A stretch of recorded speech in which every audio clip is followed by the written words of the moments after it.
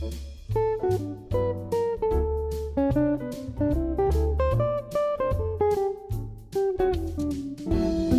it's Denise from LoomaHat.com and on this video I'm going to show you how to do the diagonal stitch.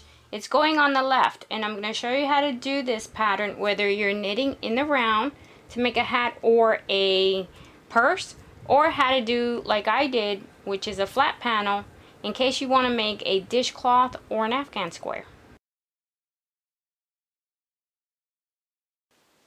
Okay, so we're going to start working on row 1. And row 1 calls for 4 knits and 2 stitches. This pattern is worked over a 6 stitch multiple.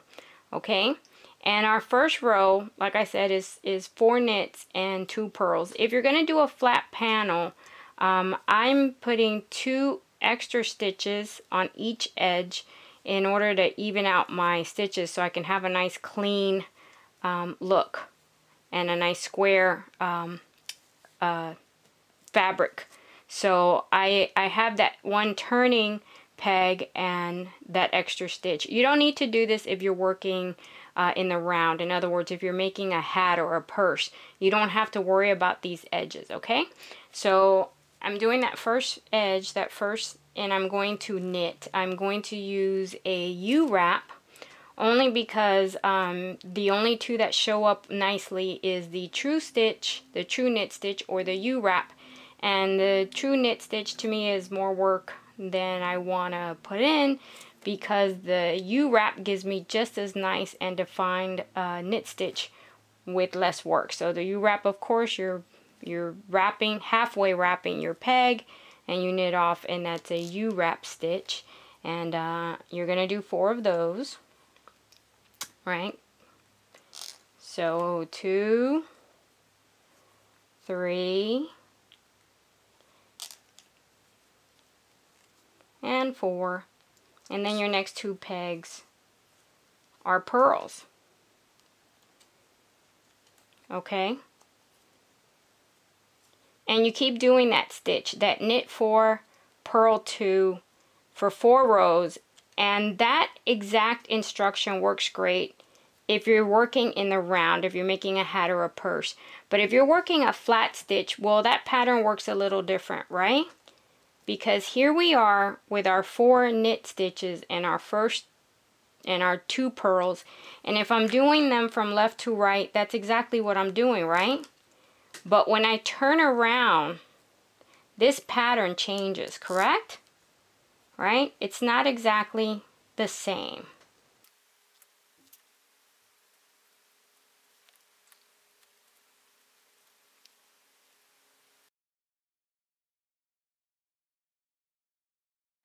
Here we are at the end of row one and I'm going to do my edges, right? We knit those last two in my case, one if you want it in your case, whichever one you prefer.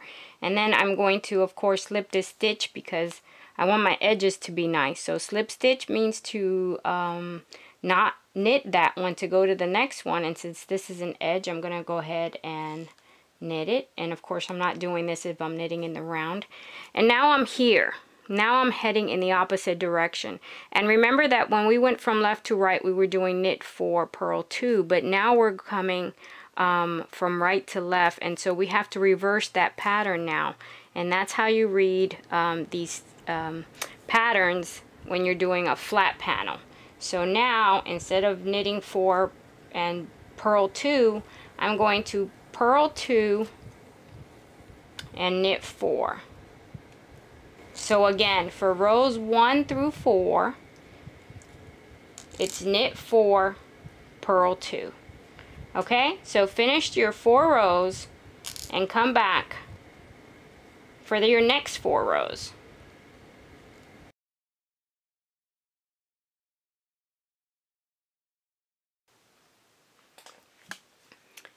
Okay, so now we're doing the next four rows, which are 5, 6, 7, and 8.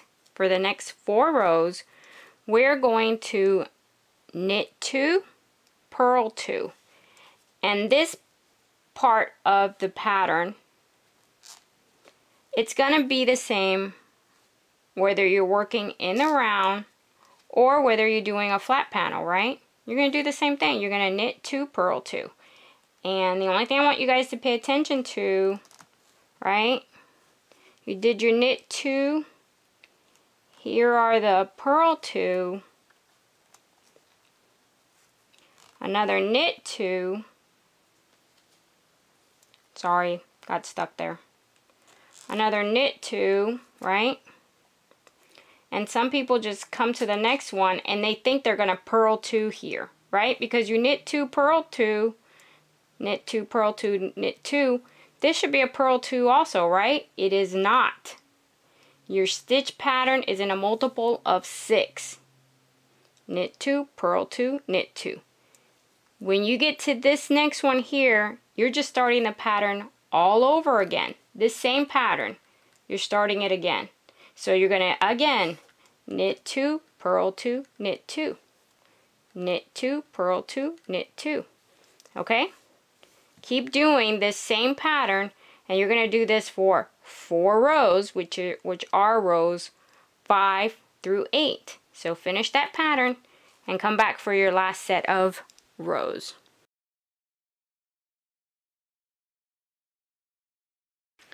Okay, so the last four rows of this pattern is going to be, you're going to purl four and knit two. Okay, so here's the first four where I'm going to purl. And remember that I'm going from left to right.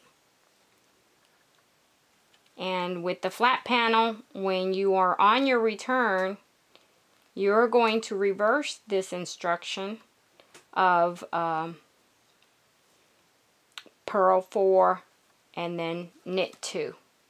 Right? I'm going from left to right. So if you're coming from right to left, you're going to knit 2, purl 4. Doesn't apply if you're going in the round. If you're doing a hat or a purse, every row is going to be the same because you're always knitting in the same direction. So for rows 9, 10, 11, and 12, you're doing purl 4, knit 2. And just a few things before we end it here is I did want to tell you guys that my cast on is just a regular E-wrap cast on and the reason my edges look nice and clean instead of really crazy is because I did tighten them. And in the description I'll give you a link to that video um, to tighten those edges.